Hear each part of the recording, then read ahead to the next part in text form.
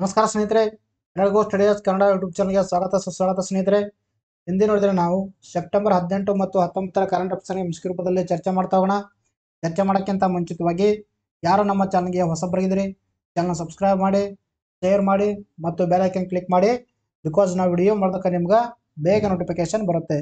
ಸ್ನೇಹಿತರೆ, ಮೊದಲನೇ ಪ್ರಶ್ನೆ ಏನಂತ ಕೇಳಿದೆ ನೋಡ್ರಿ, ಯಾವ ದಿನವನ್ನು ಕಲ್ಯಾಣ ಕರ್ನಾಟಕ ಉತ್ಸವ ದಿನಾಚರಣೆಯಾಗಿ ಆಚರಿಸಲಾಗುತ್ತದೆ ಅಂತ ಪ್ರಶ್ನೆ ಕೇಳಿದ್ದಾರೆ. ಇದಕ್ಕೆ ಸರಿಯಾದ ಉತ್ತರ. ಮೂರನೇ ಆಪ್ಷನು ಸೆಪ್ಟೆಂಬರ್ ಹದಿನೇಳರಂದು ಇದನ್ನು ನಾವು ಸೆಲೆಬ್ರೇಟ್ ಮಾಡ್ತೀವಿ. ಆದರೆ ಈ ಒಂದು ಪ್ರಶ್ನೆ ಯಾಕೆ ಕೇಳಲಾಗಿತ್ತು ಅಂದ್ರೆ ನಿಮ್ಮ ನ್ಯೂಸ್ ಪೇಪರಲ್ಲಿ ಆರ್ಟಿಕಲ್ ಕಾಣಿಸಿಕೊಂಡಿದೆ ನೋಡಿ, ಕಲ್ಯಾಣ ಕರ್ನಾಟಕಕ್ಕೆ ಹ್ಯಾಪಿ ಇಂಡಿಪೆಂಡೆನ್ಸ್ ಡೇ ಅಂತ ಆರ್ಟಿಕಲ್ ನ್ಯೂಸ್ ಪೇಪರಲ್ಲಿ ಕಾಣಿಸಿಕೊಂಡಿರುವಂಥದ್ದು. ಇದ್ರ ಬಗ್ಗೆ ನಾವು ಸವಿಸ್ತಾರವಾಗಿ ಡಿಸ್ಕಷನ್ ಮಾಡ್ತಾ ಹೋಗೋಣ. ಸೆಪ್ಟೆಂಬರ್ ಹದಿನೇಳನ್ನು ಹೈದರಾಬಾದ್ ಕರ್ನಾಟಕ ವಿಮೋಚನಾ ದಿನ ಎಂದು ಆಚರಣೆ ಮಾಡಲಾಗ್ತಾ ಇತ್ತು. ಬಟ್ ಈಗ ಏನು ಮಾಡಿದರೆ? ಈ ಒಂದು ಹೈದರಾಬಾದ್ ಕರ್ನಾಟಕವನ್ನು ಕಲ್ಯಾಣ ಕರ್ನಾಟಕ ಅಂತ ಮರುನಾಮಕರಣ ಮಾಡಿದರಿಂದಾಗಿ ನಾವು ಸೆಪ್ಟೆಂಬರ್ ಹದಿನೇಳರಂದು ಕಲ್ಯಾಣ ಕರ್ನಾಟಕ ಉತ್ಸವ ದಿನಾಚರಣೆ ಎಂದು ಆಚರಣೆ ಮಾಡ್ತಾ ಇದ್ದೀವಿ. ಸಾವಿರದ ಒಂಬೈನೂರ ನಲವತ್ತೆಂಟು ನೋಡ್ರಿ. ಸಾವಿರದ ಒಂಬೈನೂರ ನಲವತ್ತೆಂಟು ಸೆಪ್ಟೆಂಬರ್ ಹದಿನೇಳರಂದು.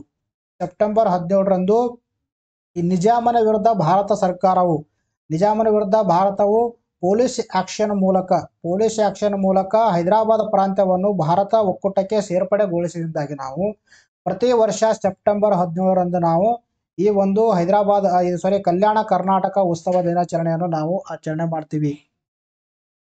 ಈ ದಿನದ ಸ್ಮರಣೆಯಲ್ಲಿ ಕರ್ನಾಟಕ ಸರ್ಕಾರವು ಕಲ್ಯಾಣ ಕರ್ನಾಟಕ ಉತ್ಸವ ದಿನಾಚರಣೆ ಎಂದು ಆಚರಿಸ್ತಾ ಇರುವಂಥದ್ದು. ನೋಡ್ರಿ, ಮೌಂಟ್ ಬ್ಯಾಟನ್ ಪ್ಲಾನ್ ಸಾವಿರದ ಒಂಬೈನೂರ ನಲವತ್ತೇಳರಲ್ಲಿ ಸಾವಿರದ ಒಂಬೈನೂರ ನಲವತ್ತೇಳರಲ್ಲಿ ಮೌಂಟ್ ಬ್ಯಾಟನ್ ಪ್ಲಾನ್ ಒಂದು ಭಾರತ ಸರ್ಕಾರಕ್ಕೆ ಬರುತ್ತೆ. ಈ ಪ್ಲಾನ್ ಏನು ಹೇಳ್ಕೊಡುತ್ತಂದ್ರ ಪ್ರಾಂತ ಭಾರತದಲ್ಲಿರುವಂಥ ಪ್ರಿನ್ಸ್ಲಿ ಸ್ಟೇಟ್ಸ್ ಅಂತ ನಾವು ಹೇಳ್ತೀವಿ. ಅಂದರೆ ಪ್ರಾಂತ್ಯಗಳಿಗೆ, ಸ್ಥಳೀಯ ಪ್ರಾಂತ್ಯಗಳಿಗೆ ಮೂರು ಅವಕಾಶಗಳನ್ನು ನೀಡುತ್ತೆ. ಏನು ಒಂದು ಅವಕಾಶ ನೀಡುತ್ತಂದ್ರೆ, ಭಾರತ ಒಕ್ಕೂಟಕ್ಕೆ ಆದರೆ ಸೇರ್ಬೋದು. ಎರಡನೇದು ಪಾಕಿಸ್ತಾನ ಒಕ್ಕೂಟಕ್ಕೆ ಆದರೆ ಸೇರ್ಬೋದು. ಅಥವಾ ಸ್ವತಂತ್ರವಾಗಿ ಆದರೂ ಕೂಡ ಇರ್ಬೋದು.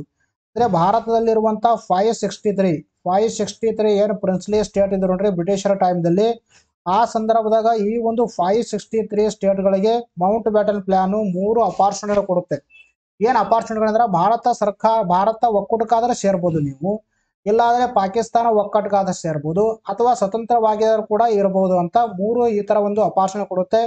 ಈ five sixty three princely state ಅಲ್ಲಿ ಫೈವ್ ಸಿಕ್ಸ್ಟಿ ಏನ್ ಮಾಡುತ್ತೆ? ಎಲ್ಲಾ ಒಂದು ಪ್ರಿನ್ಸ್ಲಿ ಸ್ಟೇಟ್ಗಳು ಭಾರತ ಒಕ್ಕೂಟಕ್ಕೆ ಸೇರುತ್ತೆ. ಬಟ್ ಮೂರು ಏನು ಸ್ಥಳೀಯ ಪ್ರಾಂತ್ಯಗಳಿದಾವೆ ನೋಡ್ರಿ, ಇವು ಭಾರತ ಒಕ್ಕೂಟಕ್ಕೆ ಸೇರಲ್ಲ. ಅದರಲ್ಲಿ ಪ್ರಮುಖ ಯಾವಪ್ಪ ಅಂತಂದ್ರೆ ಒಂದು ಹೈದರಾಬಾದ್ ಪ್ರಾಂತ್ಯ, ಎರಡನೇದು ಜುನಾಗಢ ಪ್ರಾಂತ್ಯ, ಮೂರನೇದು ಜಮ್ಮು ಕಾಶ್ಮೀರ ಪ್ರಾಂತ್ಯ ಅಂತ ನಾವು ಹೇಳ್ತೀವಿ.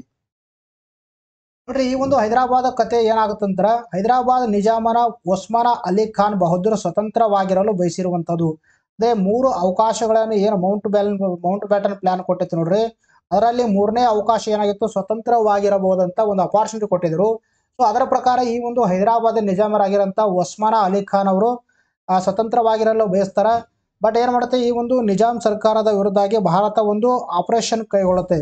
ದಟ್ ಆ ಒಂದು ಆಪರೇಷನ್ ಯಾವ್ದಪ್ಪ ಅಂತಾರೆ? ಆಪರೇಷನ್ ಪೋಲೋ ಅಂತ ನಾವು ಹೇಳ್ತೀವಿ. ಅಂದ್ರೆ ಪೊಲೀಸ್ ಆಕ್ಷನ್ ಮೂಲಕ ಕಾರ್ಯಾಚರಣೆಯನ್ನು ಕೈಗೊಳ್ಳುತ್ತೆ.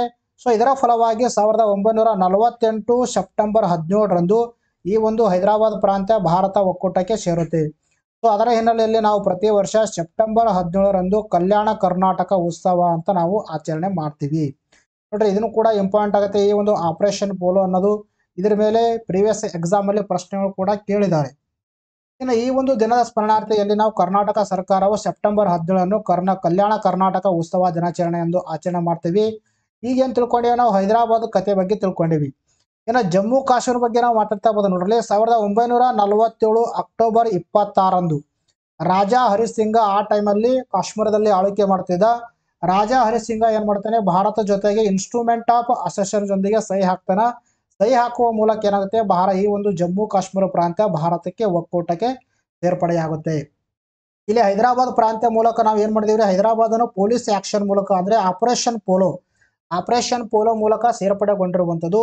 ಜಮ್ಮು ಕಾಶ್ಮೀರ ಏನು ಇನ್ಸ್ಟ್ರೂಮೆಂಟ್ ಆಫ್ ಅಸೆಷನ್ ಮೂಲಕ ಭಾರತ ಒಕ್ಕೂಟಕ್ಕೆ ಸೇರ್ಪಡೆಗೊಂಡಿರುವಂಥದ್ದು. ಅದು ಸಾವಿರದ ಒಂಬೈನೂರ ನಲವತ್ತೇಳು ಅಕ್ಟೋಬರ್ ಇಪ್ಪತ್ತಾರರಂದು. ಇದರ ಹಿನ್ನೆಲೆಯಲ್ಲಿ ನಾವು ಪ್ರತಿ ವರ್ಷ ಅಕ್ಟೋಬರ್ ಇಪ್ಪತ್ತಾರನ್ನು ಎಸ್ ಎಸ್ ಎನ್ ಡೇ ಆಗಿ ಸೆಲೆಬ್ರೇಟ್ ಮಾಡ್ತಾ ಇರುವಂಥದ್ದು. ಇನ್ನು ಜುನಾಗಢದ ಬಗ್ಗೆ ಮಾತಾಡ್ತಾ ಬಂದ ನೋಡ್ರಿ ಜುನಾಗಢದ ನವಾಬ್ ಏನ್ ಮಾಡ್ತಾ ಇದ್ದ? ಭಾ, ಪಾಕಿಸ್ತಾನಕ್ಕೆ ಸೇರ್ಬೇಕಂತ ಬಯಸಿದನು. ಇಲ್ಲಿ ನವಾಬ್ ಏನು, ನಾವು ಈಗೆಲ್ಲ ಡಿಸ್ಕಷನ್ ಮಾಡಿದಾಗೆ ಹೈದರಾಬಾದ್ ನಿಜಾಮ ಸ್ವತಂತ್ರವಾಗಿರಲು ಬಯಸಿದ್ದ. ಬಟ್ ಜುನಾಗಢದ ನವಾಬ್ ಏನು ಮಾಡಿದರೆ, ಪಾಕಿಸ್ತಾನಕ್ಕೆ ಸೇರ್ಪಡೆಯಾಗಬೇಕಂತ ಬಯಸಿದ ಸಾವಿರದ ಒಂಬೈನೂರ ನಲವತ್ತೇಳು ನವೆಂಬರ್ ಒಂಬತ್ತರಂದು ಜನ ಮತದಾನದ ಮೂಲಕ ಜುನಾಗಢವನ್ನು ಭಾರತಕ್ಕೆ ಸೇರಿಸಿರೋ, ಸೇರಿಸಿರುವಂಥದ್ದು. ವೆರಿ ಇಂಪಾರ್ಟೆಂಟ್ ಆಗುತ್ತೆ. ಹೈದರಾಬಾದ್ ಬಂದ್ರೆ ಇಲ್ಲಿ ನಾವು ಪೊಲೀಸ್ ಆಕ್ಷನ್ ಮೂಲಕ ಸೇರ್ಪಡೆಗೊಳಿಸಿರುವಂಥದ್ದು. ಇನ್ನು ಜೆ ಕೆ ಜಮ್ಮು ಕಾಶ್ಮೀರ ಬಂದಿರುವಂಥದ್ದು, ಇದು ಇನ್ಸ್ಟ್ರೂಮೆಂಟ್ ಆಫ್ ಎಸೆಷನ್ ಮೂಲಕ. ಇನ್ನು ಜುನಾಗಢ, ಇದು ಜನ ಮತದಾನದ ಮೂಲಕ ಸೇರ್ಪಡೆ ಮಾಡಿರುವಂಥದ್ದು. ಅದು ಸಾವಿರದ ಒಂಬೈನೂರ ನಲವತ್ತೇಳು ನವೆಂಬರ್ ಅಂತ ನಾವು ಹೇಳ್ತೀವಿ. ಇನ್ನು ಕಲ್ಯಾಣ ಕರ್ನಾಟಕಕ್ಕೆ ಏನು ವಿಶೇಷ ಸ್ಥಾನಮಾನವನ್ನು ಕೊಡಲಾಗಿದೆ, ಅದರ ಬಗ್ಗೆನೂ ಸ್ವಲ್ಪ ನಾವು ಡಿಸ್ಕಷನ್ ಮಾಡ್ತಾ ನೋಡ್ರಲಿ. ಇದು ಎಷ್ಟನೇ ತಿದ್ದುಪಡಿ ಮಾ, ಕೊಡಲಾಗಿರುವಂತಂದ್ರೆ ತೊಂಬತ್ತೆಂಟನೇ ಸಂವಿಧಾನಾತ್ಮಕ ತಿದ್ದುಪಡಿ ಎರಡು ಸಾವಿರದ ಹದಿಮೂರರಂದು. ಈ ಒಂದು ಕಲ್ಯಾಣ ಕರ್ನಾಟಕಕ್ಕೆ ನಾವು ವಿಶೇಷ ಸ್ಥಾನಮಾನವನ್ನು ಕೊಟ್ಟಿದ್ದೀವಿ. ಇನ್ನು ಎಷ್ಟನೇ ಮಸೀದಿ ಅಂದ್ರೆ ನೂರ ಹದಿನೆಂಟನೇ ತಿದ್ದುಪಡಿ ಮಸೀದಿ ಅಂತ ಹೇಳ್ತೀವಿ. ಇನ್ನು ಕಲ್ಯಾಣ ಕರ್ನಾಟಕಕ್ಕೆ ಸಂಬಂಧಪಟ್ಟಿರುವಂಥದ್ದು ವಿಧಿ ಯಾವುದಂದ್ರೆ ತ್ರೀ ಸೆವೆಂಟಿ ಒನ್ ಜೆ ಅಂತ ಹೇಳ್ತೀವಿ ನಾವು. ವೆರಿ ಇಂಪಾರ್ಟೆಂಟ್ ಆಗುತ್ತೆ. ಇನ್ನು ನಂತರದಲ್ಲಿ ಯಾವುದಪ್ಪ ಅಂತಂದ್ರೆ ಪ್ರಸ್ತುತವಾಗಿ ಬಳ್ಳಾರಿಯಿಂದ ನಾವು ಏನು ಮಾಡಿದ್ದೀವಿ ಎರಡು ಡಿಸ್ಟಿಕ್ ಮಾಡಿದೀವಿ. ಒಂದು ಬಳ್ಳಾರಿ ಡಿಸ್ಟಿಕ್ಕು ಇನ್ನೊಂದು ವಿಜಯನಗರ ಡಿಸ್ಟಿಕ್ ಅಂತ ಮಾಡಿದ್ದೀವಿ ವಿಜಯನಗರ ಡಿಸ್ಟಿಕ್ ರಾಜ್ಯದ ಮೂವತ್ತೊಂದನೇ ಡಿಸ್ಟ್ರಿಕ್ಟ್ ಆಗಿ ಹೊರಹೊಮ್ಮಿರುವಂಥದ್ದು. ಸೊ ದ್ಯಾಟ್ ಈ ಒಂದು ವಿಜಯನಗರ ಡಿಸ್ಟಿಕ್ ಸೇರಿಬಿಟ್ಟು ಟೋಟಲು ಏಳು ರಾಜ್ಯ, ಏಳು ಜಿಲ್ಲೆಗಳಿಗೆ ಈ ಒಂದು ತ್ರೀ ಸೆವೆಂಟಿ ಒನ್ ಆರ್ಟಿಕಲ್ ಏನಾಗುತ್ತೆ ಅಪ್ಲೈ ಆಗ್ತಾ ಇರುವಂಥದ್ದು. Three seventy one j article ಕರ್ನಾಟಕದಲ್ಲಿ ಬರುವಂಥ ಏಳು ಜಿಲ್ಲೆಗಳಿಗೆ ಅನ್ವಯವಾಗ್ತಾ ಇರುವಂಥದ್ದು. ಇನ್ನು ಇದ್ರ ಬಗ್ಗೆನೂ ಕೂಡ ನಿಮ್ಮ ಎಕ್ಸಾಮಲ್ಲಿ ಕೂಡ ಪ್ರಶ್ನೆಗಳನ್ನು ಕೂಡ ಕೇಳಿದ್ದಾರೆ ಈ ಒಂದು ತ್ರೀ ಸೆವೆಂಟಿ ಒನ್ ಎ ಅದಕ್ಕೆ ಸಂಬಂಧಪಟ್ಟದ, ಯಾವ ರಾಜ್ಯಕ್ಕೆ ಸಂಬಂಧಪಟ್ಟದ three seventy one j j ಅದಕ್ಕೆ ಸಂಬಂಧಪಟ್ಟದ? ತ್ರೀ ಸೆವೆಂಟಿ ಒನ್ ಎಚ್ ಅದಕ್ಕೆ ಸಂಬಂಧಪಟ್ಟದ? ಐ ಅದಕ್ಕೆ ಸಂಬಂಧಪಟ್ಟದ? ಈ ಥರ ಏನು ಮಾಡಿದರೆ ಹಲವಾರು ಬಾರಿ ನಿಮ್ಮ ಎಕ್ಸಾಮಲ್ಲಿ ಪ್ರಶ್ನೆ ಕೂಡ ಕೇಳಿದ್ದಾರೆ. ಸೊ ದ್ಯಾಟ್ ಇದ್ರ ಬಗ್ಗೆ ಸ್ವಲ್ಪ ನಾವು ಡಿಸ್ಕಷನ್ ಮಾಡ್ತೋಣ ಮೊದಲೇ ನೋಡ್ರಿ ತ್ರೀ ಸೆವೆಂಟಿ ಒನ್ ಜಸ್ಟು ಇದು ಮಹಾರಾಷ್ಟ್ರ ಮತ್ತು ಗುಜರಾತಕ್ಕೆ ಸಂಬಂಧಪಟ್ಟಿರುವಂಥದ್ದು. ವೆರಿ ಇಂಪಾರ್ಟೆಂಟ್ ಆಗುತ್ತೆ. ಇನ್ನು three seventy one a three seventy one ಎದಕ್ಕೆ ಸಂಬಂಧಪಟ್ಟದ್ರಿ? ನಾಗಾಲ್ಯಾಂಡ್ಗೆ ಸಂಬಂಧಪಟ್ಟಿರುವಂಥದ್ದು. ಇನ್ನು three seventy one b Assam ರಾಜ್ಯಕ್ಕೆ ಸಂಬಂಧಪಟ್ಟಿರುವಂಥದ್ದು. ಇನ್ನು ತ್ರೀ ಸೆವೆಂಟಿ ಒನ್ ಸಿ ಮಣಿಪುರಕ್ಕೆ, ಇನ್ನು three seventy one d Andhra ಪ್ರದೇಶಕ್ಕೆ ಸಂಬಂಧಪಟ್ಟಿರುವಂಥದ್ದು. ಇನ್ನು ಇಲ್ಲಿ ತ್ರೀ ಸೆವೆಂಟಿ ಒನ್ ಇ ನೋಡ್ರಿ, ಆಂಧ್ರ ಪ್ರದೇಶದಲ್ಲಿ ಕೇಂದ್ರೀಯ ವಿಶ್ವವಿದ್ಯಾಲಯ ಸ್ಥಾಪನೆ ಮಾಡುವಂಥದ್ದು. ಅಂದರೆ ತ್ರೀ ಸೆವೆಂಟಿ ಒನ್ ಡಿ ಮತ್ತು ತ್ರೀ ಸೆವೆಂಟಿ ಒನ್ ಇ ಎರಡು ಆಂಧ್ರಕ್ಕೆ ಸಂಬಂಧಪಟ್ಟಿರುವಂಥದ್ದು. ಇನ್ನು ತ್ರೀ ಸೆವೆಂಟಿ ಒನ್ ಎಫ್ ಸಂಬಂಧಪಟ್ಟಿರುವಂಥ ರಾಜ್ಯ ಯಾವಂದ್ರೆ ಸಿಕ್ಕಿಮು. ತದನಂತರದಲ್ಲಿ ತ್ರೀ ಸೆವೆಂಟಿ ಒನ್ ಜಿ ಇದು ಮಿಜೋರಾಮು. ಇನ್ನು three seventy one h Arunachal Pradesh ಇನ್ನು three seventy one I Goa ಇನ್ನು ತ್ರೀ ಸೆವೆಂಟಿ ಒನ್ ಜೆ ಈಗ ಡಿಸ್ಕಷನ್ ಮಾಡಿದ ಹಾಗೆ ಕಲ್ಯಾಣ ಕರ್ನಾಟಕಕ್ಕೆ ಸಂಬಂಧಪಟ್ಟಿರುವಂಥದ್ದು. ನೋಡಿ ಯಾವ ಥರ ನಾವು ಆರ್ಟಿಕಲ್ ಅನ್ನು ಡಿಸೈನ್ ಮಾಡಿದ್ದೀವಿ ಜಸ್ಟ್ ಏನು ಬಂದಿತ್ತು, ಕಲ್ಯಾಣ ಕರ್ನಾಟಕ ದಿನದ ಒಂದು ಉತ್ಸವವನ್ನು ನಾವು ಸೆಲೆಬ್ರೇಟ್ ಮಾಡ್ತೀವಿ ಸೆಪ್ಟೆಂಬರ್ ಹದಿನೇಳರಂದು ಬಂದಿತ್ತು. ಅದರ ಹಿನ್ನೆಲೆಯಲ್ಲಿ ನಾವು ಕಲ್ಯಾಣ ಕರ್ನಾಟಕ ಉತ್ಸವ ಬಗ್ಗೆ ಡಿಸ್ಕಷನ್ ಮಾಡಿದ್ದೀವಿ. ಇನ್ನು ಮೌಂಟ್ ಬ್ಯಾಟನ್ ಪ್ಲಾನ್ ಬಗ್ಗೆನೂ ಕೂಡ ಡಿಸ್ಕಷನ್ ಮಾಡಿದ್ದೀವಿ. ತದನಂತರದಲ್ಲಿ ಈ ಒಂದು ತ್ರೀ ಸೆವೆಂಟಿ ಒನ್ ಆರ್ಟಿಕಲ್ ಯಾವ ರಾಜ್ಯಕ್ಕೆ ಯಾವ ಸಂಬಂಧಪಟ್ಟ ಅದ್ರ ಬಗ್ಗೆನೂ ಕೂಡ ನಾವು ಡಿಸ್ಕಷನ್ ಮಾಡಿದ್ದೀವಿ ಇದೇ ತರನಾಗಿ ಪ್ರತಿಯೊಂದು ಆರ್ಟಿಕಲ್ ಅನ್ನು ಕೂಡ ನಮ್ಮ ಮ್ಯಾಗ್ಝಿನಲ್ಲಿ ಕವರ್ ಮಾಡಿರ್ತೀವಿ. ಯಾರಿಗೆ ನಮ್ಮ ಮ್ಯಾಗ್ಝಿನ್ಗಳನ್ನು ಬೇಕು, ಈ ಒಂದು ನಂಬರ್ಗೆ ನೀವು ಪೇ ಮಾಡಿದ ಸ್ಕ್ರೀನ್ ಶಾಟ್ ಅನ್ನು ಕಳಿಸುವ ಮೂಲಕ ಪಡೆದುಕೊಳ್ಬೋದು ಅರೆ ಅಮೌಂಟ್ ಎಷ್ಟು ಅಂದ್ರೆ ಫಾರ್ ಫಿಫ್ಟೀನ್ ಡೇಸ್ ಕೊಟ್ಟಿದ್ದಾರೆ ನೋಡ್ರಿ. ಆಮೇಲೆ ಫಾರ್ ಒಂದು ಮಂತ್ ಕೊಟ್ಟಿದ್ದಾರೆ. ಆಮೇಲೆ ಎರಡ್ ಸಾವಿರದ ಇಪ್ಪತ್ತ್ಮೂರು ಜಾನ್ ಹಿಡ್ಕೊಂಡು ಆಗಸ್ಟ್ ತರ್ಟಿ ಫಸ್ಟ್ ಎರಡು ಸಾವಿರದ ಇಪ್ಪತ್ತ್ಮೂರು ತ್ರೀ ಟ್ವೆಂಟಿ ರೂಪಾಯಿ ಆಗುತ್ತೆ. ಆಮೇಲೆ ಒನ್ ಇಯರ್ಗೆ ನಿಮಗೆ ಎಷ್ಟಾಗುತ್ತೆ ಫೋರ್ ಏಯ್ಟಿ ರೂಪಾಯಿ ಆಗುತ್ತೆ. ಅದರ ಡಿಸ್ಕೌಂಟ್ ಸೇರಿಬಿಟ್ಟು ನಿಮಗೆ ಫೋರ್ ಹಂಡ್ರೆಡ್ ರೂಪಾಯಿ ಆಗುತ್ತೆ. ಆಮೇಲೆ ಜಾನ್ ಎರಡು ಸಾವಿರದ ಇಪ್ಪತ್ತೆರಡು ಹಿಡ್ಕೊಂಡು ಆಗಸ್ಟ್ ತರ್ಟಿ ಫಸ್ಟ್ವರೆಗೆ ಎಷ್ಟಾಗಿದೆ ಎಷ್ಟಾಗುತ್ತೆ ನಿಮಗೆ? ಏಯ್ಟ್ ಹಂಡ್ರೆಡ್ ರೂಪಾಯಿ ಆಗುತ್ತೆ. ಅದು ಡಿಸ್ಕೌಂಟ್ ಸೇರಿಬಿಟ್ಟು ನಿಮಗೆ ಸೆವೆನ್ ಹಂಡ್ರೆಡ್ ರೂಪಾಯಿ ಆಗುತ್ತೆ. ಈ ಒಂದು ಅಮೌಂಟನ್ನು ನೀವು ಈ ನಂಬರ್ಗೆ ಪೇ ಮಾಡುವ ಮೂಲಕ ನಮ್ಮ ಪಿ ಡಿ ಎಫ್ ಫಾರ್ಮೆಟಲ್ಲಿರುವಂಥ ನೋಟ್ಸ್ಗಳನ್ನು ಪಡೆದುಕೊಳ್ಬೋದು. ನೋಡಿ ನೆಕ್ಸ್ಟ್ ಪ್ರಶ್ನೆ ನೋಡ್ತಾವಣ ನೆಕ್ಸ್ಟ್ ಪ್ರಶ್ನೆ ಬಹಳ ಇಂಪಾರ್ಟೆಂಟ್ ಆಗುತ್ತೆ. ಏನು ಪ್ರಶ್ನೆ ಕೇಳಿದಾರೆ ನೋಡ್ರಿ? ಪ್ರಸ್ತುತ ಭಾರತದ ಯುನೆಸ್ಕೋ ಪಾರಂಪರಿಕ ತಾಣಗಳ ಸಂಖ್ಯೆ ಎಷ್ಟು ಅಂತ ಪ್ರಶ್ನೆ ಕೇಳಿದ್ದಾರೆ ಪ್ರಸ್ತುತ ಭಾರತದಲ್ಲಿ ಕಂಡುಬರುವಂತಹ ಯುನೆಸ್ಕೋ ಪಾರಂಪರಿಕ ತಾಣಗಳ ಸಂಖ್ಯೆ ಎಷ್ಟು ಅಂತ ಪ್ರಶ್ನೆ ಕೇಳಿದರೆ ಸೊ ಇದಕ್ಕೆ ಸರಿಯಾದ ಉತ್ತರ ನಲವತ್ತೆರಡು ಇಸ್ ದ ರೈಟ್ ಆನ್ಸರ್ ಅಂತ ನಾವು ಹೇಳ್ತೀವಿ. ಹಾಗಾದ್ರೆ ಇವತ್ತೇ ಈ ಒಂದು ಟಾಪಿಕ್ ಮೇಲೆ ನಾನು ಯಾಕೆ ಪ್ರಶ್ನೆ ಕೇಳಿದೆ ಅಂದ್ರೆ, ನಿಮ್ಮ ನ್ಯೂಸ್ ಪೇಪರಲ್ಲಿ ಆರ್ಟಿಕಲ್ ಕಾಣಿಸಿಕೊಂಡಿದೆ ನೋಡಿ, ರವೀಂದ್ರನಾಥ್ ಟ್ಯಾಗೋರ್, ಶಾಂತಿನಿಕೇತನ ಈಗ ವಿಶ್ವ ಪಾರಂಪರಿಕ ತಾಣ ಅಂತ ಆರ್ಟಿಕಲ್ ನ್ಯೂಸ್ ಪೇಪರ್ ಅಲ್ಲಿ ಕಾಣಿಸಿಕೊಂಡಿರುವಂಥದ್ದು. ನೋಡ್ರಿ, ರೀಸೆಂಟಾಗಿ ಭಾರತದಲ್ಲಿ ಪ್ರಮುಖವಾಗಿ ನಲವತ್ತು ಈ ಒಂದು ಯುನೆಸ್ಕೋ ಪಾರಂಪರಿಕ ತಾಣಗಳಿದ್ದು, ಬಟ್ ರೀಸೆಂಟ್ ಆಗಿ ಎರಡು ಜೊ, ಎರಡು ಏನು ಮಾಡಿದರೆ, ಎರಡು ತಾಣಗಳನ್ನು ಈ ಒಂದು ಪಟ್ಟಿಗೆ ಸೇರ್ಪಡೆ ಮಾಡಿರುವಂಥದ್ದು. ಒಂದು ಶಾಂತಿನಿಕೇತನ್ ಅನ್ನೋದು, ಇನ್ನೊಂದು ಯಾವುದಪ್ಪ ಅಂತಂದ್ರೆ, ಹೊಯ್ಸಳರ ಒಂದು ದೇವಾಲಯಗಳು ಕೂಡ ಇದರಲ್ಲಿ ಸೇರ್ಪಡೆ ಮಾಡಿರುವಂಥದ್ದು. ಸೊ ಇದರ ಹಿನ್ನೆಲೆಯಲ್ಲಿ ಭಾರತದಲ್ಲಿ ಕಂಡುಬರುವಂಥ ಪ್ರಸ್ತುತವಾಗಿ ಯುನೆಸ್ಕೋ ಪಾರಂಪರಿಕ ತಾಣಗಳ ಸಂಖ್ಯೆ ಎಷ್ಟಂದ್ರ, ನಲವತ್ತೆರಡು ಅಂತ ನಾವು ಹೇಳ್ತೀವಿ. ಸೊ ದ್ಯಾಟ್ ಇದ್ರ ಬಗ್ಗೆ ನಾವು ಸವಿಸ್ತಾರವಾಗಿ ಡಿಸ್ಕಷನ್ ಮಾಡ್ತೋಣ ಸೌದಿ ಅರೇಬಿಯಾದ ರಿಯಾದ್ನಲ್ಲಿ ವಿಶ್ವ ಪಾರಂಪರಿಕ ಸಮಿತಿಯ ನಲವತ್ತೈದನೇ ಅಧಿವೇಶನದಲ್ಲಿ ಶಾಂತಿನಿಕೇತನ ಮತ್ತು ಹೊಯ್ಸಳರ ಪವಿತ್ರ ಮೇಳವನ್ನು ನಲವತ್ತೊಂದನೇ ಮತ್ತು ನಲವತ್ತೆರಡನೇ ತಾಣವಾಗಿ ಯುನೆಸ್ಕೋ ವಿಶ್ವ ಪಾರಂಪರಿಕ ತಾಣಗಳ ಪಟ್ಟಿಯಲ್ಲಿ ಸೇರಿಸಲಾಗಿರುವಂಥದ್ದು. ವೆರಿ ವೆರಿ ಇಂಪಾರ್ಟೆಂಟ್ ಆಗುತ್ತೆ. ಶಾಂತಿನಿಕೇತನ ಮತ್ತು ಹೊಯ್ಸಳರ ಪವಿತ್ರ ಮೇಳ. ಇದರಲ್ಲಿ ಮೂರು ದೇವಸ್ಥಾನಗಳು ಬರುತ್ತೆ. ಇಲ್ಲಿ ಏನು ನಾನು ಹೊಯ್ಸಳರ ಪವಿತ್ರ ಮೇಳ ಅಂತ ಕರೆದ ನೋಡ್ರಿ, ಮೂರು ದೇವಸ್ಥಾನಗಳು ಬರುತ್ತೆ. ಒಂದು ಯಾವ್ದಪ್ಪ ಅಂದ್ರೆ ಚೆನ್ನಕೇಶವ ದೇವಾಲಯ, ಎರಡನೇದು ಹೊಯ್ಸಳೇಶ್ವರ ದೇವಾಲಯ, ಮೂರನೇದು ಕೇಶವ ದೇವಾಲಯ. ಈ ಮೂರು ದೇವಸ್ಥಾನಗಳು ಪ್ಲಸ್ ಶಾಂತಿನಿಕೇತನವನ್ನು ರೀಸೆಂಟ್ ಆಗಿ ವಿಶ್ವ ಪಾರಂಪರಿಕ ತಾಣಗಳ ಪಟ್ಟಿಯಲ್ಲಿ ಸೇರಿಸಿರುವಂಥದ್ದು. ಇದರಲ್ಲಿ ಶಾಂತಿನಿಕೇತನ ನಲವತ್ತೊಂದನೇ ಸ್ಥಾನ, ನಲವತ್ತೊಂದನೇ ತಾಣವಾಗಿರುವಂಥದ್ದು. ಇನ್ನು ಏನು ಹೊಯ್ಸಳರ ಪವಿತ್ರ ಮೇಳ ಇದೆ ನೋಡ್ರಿ, ಇದು ನಲವತ್ತೆರಡನೇ ತಾಣವಾಗಿರುವಂಥದ್ದು. ಆದ್ರೆ ನೋಡ್ರಿ ಹೊಯ್ಸಳರ ಪವಿತ್ರ ಮೇಳ ಪ್ರಮುಖವಾಗಿ ಮೂರು ದೇವಾಲಯಗಳನ್ನು ಒಳಗೊಂಡಿರುವಂಥದ್ದು. ಒಂದ್ಯಾವುದು ಚನ್ನಕೇಶವ ದೇವಾಲಯ, ಬೇಲೂರಲ್ಲಿ ಕಂಡು ಬರುವಂಥದ್ದು ತದನಂತರದಲ್ಲಿ ಹೊಯ್ಸಳೇಶ್ವರ ದೇವಾಲಯ, ಇದು ಹಳೇಬೀಡಲ್ಲಿ ಕಂಡು ಬರುವಂಥದ್ದು ಇನ್ನು ಕೇಶವ ದೇವಾಲಯ, ಸೋಮನಾಥಪುರ, ಅಂದ್ರೆ ಮೈಸೂರು ಜಿಲ್ಲೆಯಲ್ಲಿ ಕಂಡು ಬರುವಂಥದ್ದು ಬೇಲೂರು ಮತ್ತು ಹಳೇಬೀಡು ಇವೆರಡು ಹಾಸನ ಡಿಸ್ಟಿಕ್ ಅಲ್ಲಿ ಕಂಡು ಬರುತ್ತೆ ಇನ್ನು ಈ ಒಂದು ಕೇಶವ ದೇವಾಲಯ, ಸೋಮನಾಥಪುರ ಅಂದ್ರೆ ಮೈಸೂರು ಡಿಸ್ಟಿಕ್ ಅಲ್ಲಿ ಕಂಡು ಬರುವಂಥದ್ದು ನೋಡ್ರಿ, ಇದು ಕರ್ನಾಟಕದಲ್ಲಿ ನಾಲ್ಕನೇ ವಿಶ್ವ ಪಾರಂಪರಿಕ ತಾಣವಾಗಿರುವಂಥದ್ದು. ಏನೀಗ ನಾವು ಹೊಯ್ಸಳರು ಒಂದು ದೇವಸ್ಥಾನಗಳನ್ನು ಸೇರ್ಪಡೆಗೊಳಿಸಿ ನೋಡ್ರಿ, ಟೋಟಲ್ ಆಗಿ ಕರ್ನಾಟಕದಿಂದ ನಾಲ್ಕು ತಾಣಗಳು ವಿಶ್ವ ಪಾರಂಪರಿಕ ತಾಣಗಳಾಗಿ ಗುರುತಿಸಲ್ಪಟ್ಟಿರುವಂಥದ್ದು. ಮೊದಲು ನೋಡ್ರಿ, ಮೊದಲು ಇತ್ತೀಚೆಗೆ ಏನೋ ಹೊಯ್ಸಳರು ಸೇರಿಸಿದ್ದಾರೆ. ಇದಕ್ಕಿಂತ ಮುಂಚಿತವಾಗಿ ಮೂರು ತಾಣಗಳು ಈ ಒಂದು ವಿಶ್ವ ಪಾರಂಪರಿಕ ತಾಣಗಳ ಪಟ್ಟಿಯಲ್ಲಿ ಸೇರ್ಪಡೆಗೊಂಡಿರುವಂಥದ್ದು. ಮೊದಲನೇದು ಹಂಪಿ ನೋಡ್ರಿ, ಸಾವಿರದ ಒಂಬೈನೂರ ಎಂಬತ್ತಾರರಲ್ಲಿ ಸೇರ್ಪಡೆಗೊಂಡಿರುವಂಥದ್ದು. ಇನ್ನು ಪಟ್ಟದಗಲ್ಲು ಸಾವಿರದ ಒಂಬೈನೂರ ಎಂಬತ್ತೇಳರಲ್ಲಿ ಇನ್ನು ಪಶ್ಚಿಮ ಘಟ್ಟಗಳು ಎರಡು ಸಾವಿರದ ಹನ್ನೆರಡರಲ್ಲಿ. ಇನ್ನು ಹೊಯ್ಸಳರಿಗೆ ಸಂಬಂಧಪಟ್ಟಿರುವಂಥ ದೇವಾಲಯಗಳು ಎರಡು ಸಾವಿರದ ಇಪ್ಪತ್ತ್ ಮೂರರಲ್ಲಿ ಸೇರ್ಪಡೆಗೊಳಿಸಿರುವಂಥದ್ದು. ಕರ್ನಾಟಕದ ಕೇಳಿದರೆ ನಾಲ್ಕು ತಾಣಗಳು, ಭಾರತದ ಕೇಳಿದರೆ ನಲವತ್ತೆರಡು ತಾಣಗಳಂತ ನಾವು ಹೇಳ್ತೀವಿ. ಇನ್ನು ಮೊದಲೇ ನೋಡ್ರಿ ಚೆನ್ನಕೇಶವ ದೇವಾಲಯ. ಚೆನ್ನಕೇಶವ ದೇವಾಲಯ ನಿರ್ಮಿಸಿದವರು ಯಾರಪ್ಪ ಅಂದ್ರೆ ವಿಷ್ಣುವರ್ಧನ ಅಂತ ಹೇಳ್ತೀವಿ. ಅಂದ್ರೆ ಹೊಯ್ಸಳರ ದೊರೆ, ಪ್ರಸಿದ್ಧ ದೊರೆ ಆದಂಥ ವಿಷ್ಣುವರ್ಧನ್ ಅವರು ಈ ಒಂದು ಚೆನ್ನಕೇಶವ ದೇವಾಲಯವನ್ನು ನಿರ್ಮಾಣ ಮಾಡ್ತಾರ. ಇದು ಒಂದು ಏಕಕೂಟ ದೇವಾಲಯವಾಗಿರುವಂಥದ್ದು. ವೆರಿ ಇಂಪಾರ್ಟೆಂಟ್ ಆಗುತ್ತೆ. ಇನ್ನು ಯಾವ ನದಿ ದಡದ ಮೇಲೆ ಕಂಡು ಬರುತ್ತಾನ ಯಗಚ್ಚಿ. ಯಗಚ್ಚಿ ಅನ್ನೋ ಒಂದು ನದಿ ದಡದ ಮೇಲೆ ಈ ಒಂದು ದೇವಾಲಯ ಕಂಡು ಬರುತ್ತೆ ತದನಂತರದಲ್ಲಿ ಎರಡನೇ ದೇವಸ್ಥಾನ ಯಾವುದು? ಹೊಯ್ಸಳೇಶ್ವರ ದೇವಾಲಯ. ಹೊಯ್ಸಳೇಶ್ವರ ದೇವಾಲಯ ಇದು ಹಳೇಬೀಡಲ್ಲಿ ಕಂಡು ಬರುವಂಥದ್ದು ಇದು ಒಂದು ಶಿವ ದೇವಾಲಯವಾಗಿರುವಂಥದ್ದು. ಅಂದ್ರೆ ಇಲ್ಲಿ ಚನ್ನಕೇಶವ ದೇವಾಲಯ ಆಗಿರ್ಬೋದು, ಹೊಯ್ಸಳೇಶ್ವರ ದೇವಾಲಯ ಆಗಿರ್ಬೋದು, ತದನಂತರದಲ್ಲಿ ಕೇಶವ ದೇವಾಲಯ. ಈ ಮೂರು ದೇವಾಲಯಗಳು ಹಿಂದೂ ಧರ್ಮಕ್ಕೆ ಸಂಬಂಧಪಟ್ಟಿರುವಂಥದ್ದು. ಅದರಲ್ಲಿ ಸ್ಪೆಸಿಫಿಕ್ ಆಗಿ ನಾವು ನೋಡ್ತಾ ಬಂದ್ರೆ ಹೊಯ್ಸಳೇಶ್ವರ ದೇವಾಲಯ ಶಿವನಿಗೆ ಅರ್ಪಿತವಾಗಿರುವಂಥ ದೇವಾಲಯವಾಗಿರುವಂಥದ್ದು. ಇದನ್ನು ನಿರ್ಮಾಣ ಮಾಡಿರುವಂಥದ್ದು ಕೂಡ ವಿಷ್ಣುವರ್ಧನ್ ಅವರೇ ನಿರ್ಮಾಣ ಮಾಡಿರುವಂಥದ್ದು. ಇದು ದ್ವಿಕೂಟ ದೇವಾಲಯವಾಗಿರುವಂಥದ್ದು. ಹೊಯ್ಸಳೇಶ್ವರ ದೇವಾಲಯ, ದ್ವಿಕೂಟ. ಇನ್ನು ಯಾವುದಪ್ಪ ಅಂತಂದ್ರೆ ನಾವು ಡಿಸ್ಕಷನ್ ಮಾಡಿದ ಹಾಗೆ ಬೇಲೂರಲ್ಲಿ ಕಂಡು ಬರುವಂಥ ಚನ್ನಕೇಶವ ದೇವಾಲಯ ಏಕಕೂಟ ದೇವಾಲಯವಾಗಿರುವಂಥದ್ದು. ಇನ್ನು ಕೇಶವ ದೇವಾಲಯ ವಿಷ್ಣುವಿನಿಗೆ ಅರ್ಪಿತವಾಗಿರುವಂಥ ದೇವಾಲಯ ಇದು ತ್ರಿಕೂಟ ದೇವಾಲಯವಾಗಿರುವಂಥದ್ದು. ತದನಂತರದಲ್ಲಿ ಇದನ್ನು ನಿರ್ಮಾಣ ಮಾಡಿದವರು ಯಾರಂದ್ರೆ ಮೂರನೇ ನರಸಿಂಹನ ದಂಡನಾಯಕನಾಗಿರುವಂಥ ಸೋಮನಾಥ ಅನ್ನೋ ಒಬ್ಬ ವ್ಯಕ್ತಿ ಏನ್ ಮಾಡ್ತಾನ? ಈ ಒಂದು ದೇವಾಲಯವನ್ನು ನಿರ್ಮಾಣ ಮಾಡ್ತಾನ. ಅಂದ್ರೆ ಹೊಯ್ಸಳೇಶ್ವರ ದೇವಾಲಯ ಮತ್ತು ಚೆನ್ನಕೇಶವ ದೇವಾಲಯ ನಿರ್ಮಾಣ ಮಾಡಿದವರು ವಿಷ್ಣುವರ್ಧನು. ಕೇಶವ ದೇವಾಲಯ ನಿರ್ಮಾಣ ಮಾಡಿದ್ದು ಮೂರನೇ ನರಸಿಂಹನ ದಂಡನಾಯಕವಾಗಿರುವಂಥ ಸೋಮನಾಥ ನಿರ್ಮಾಣ ಮಾಡಿರುವಂಥದ್ದು. ಇದು ಮೈಸೂರಲ್ಲಿ ಕಂಡು ಬರುತ್ತೆ. ಈಗ ನಾವು ಡಿಸ್ಕಷನ್ ಮಾಡಿದೀವಿ ಸೋಮನಾಥಪುರ ಅನ್ನೋ ಒಂದು ಪ್ಲೇಸ್ ಅಲ್ಲಿ ಕೇಶವ ದೇವಾಲಯ ಕಂಡು ಬರುತ್ತೆ. ಇನ್ನು ಇದು ಯಾವ ನದಿಯ ದಡದಲ್ಲಿದ್ದಾರೆ ಕಾವೇರಿ ನದಿಯ ದಡದಲ್ಲಿ ಕಂಡು ಬರುವಂಥದ್ದು. ಇನ್ನು ಶಾಂತಿನಿಕೇತನ್ ನೋಡ್ರಿ, ಶಾಂತಿನಿಕೇತನವನ್ನು ರವೀಂದ್ರನಾಥ್ ಟ್ಯಾಗೋರ್ ಅವರ ತಂದೆ ಆಗಿರುವಂತ ಮಹರ್ಷಿ ದೇವೇಂದ್ರನಾಥ್ ಟ್ಯಾಗೋರ್ ಅವರು ಸಾವಿರದ ಎಂಟುನೂರ ಅರವತ್ತ್ ಮೂರಲ್ಲಿ ಪಶ್ಚಿಮ ಬಂಗಾಳದ ಬೀರಭೂಮಿನಲ್ಲಿ ಸ್ಥಾಪನೆ ಮಾಡಿರುವಂಥದ್ದು. ವೆರಿ ಇಂಪಾರ್ಟೆಂಟ್ ಆಗುತ್ತೆ. ಶಾಂತಿನಿಕೇತನವನ್ನು ಸ್ಥಾಪನೆ ಮಾಡಿದವರು ಯಾರಪ್ಪ ಅಂತಂದ್ರೆ ದೇವೇಂದ್ರನಾಥ್ ಟ್ಯಾಗೋರ್ ಅಂತ ಹೇಳ್ತೀವಿ. ಅದು ಸಾವಿರದ ಎಂಟುನೂರ ಅರವತ್ತ್ ಮೂರಲ್ಲಿ ಪಶ್ಚಿಮ ಬಂಗಾಳದಲ್ಲಿ ನಿರ್ಮಾಣ ಮಾಡಿರುವಂಥದ್ದು.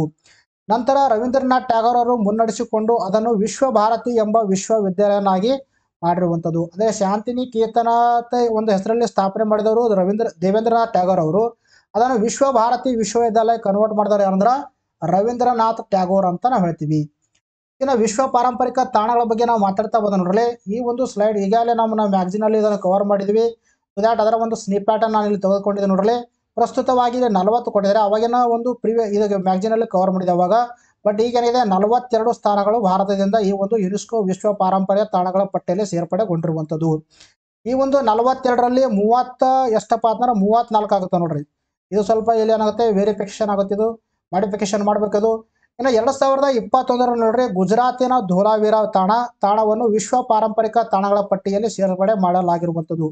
ಎರಡ್ ಸಾವಿರದ ಇಪ್ಪತ್ತೊಂದರಲ್ಲಿ ಗುಜರಾತ್ ಗುಜರಾತಲ್ಲಿ ಕಂಡು ಬರುವಂಥದ್ದು ಇನ್ನು ಯಾವುದಪ್ಪ ಅಂತಂದ್ರೆ ರಾಮಪ್ಪ ದೇವಾಲಯ. ರಾಮಪ್ಪ ದೇವಾಲಯ ಇದನ್ನು ಕೂಡ ರೀಸೆಂಟ್ ಆಗಿನ ಅಂದ್ರೆ ಹೋದು ಎರಡ್ ಸಾವಿರದ ಇಪ್ಪತ್ತೊಂದರಲ್ಲಿ ಇದನ್ನು ಕೂಡ ಸೇರ್ಪಡೆ ಮಾಡಿರುವಂಥದ್ದು.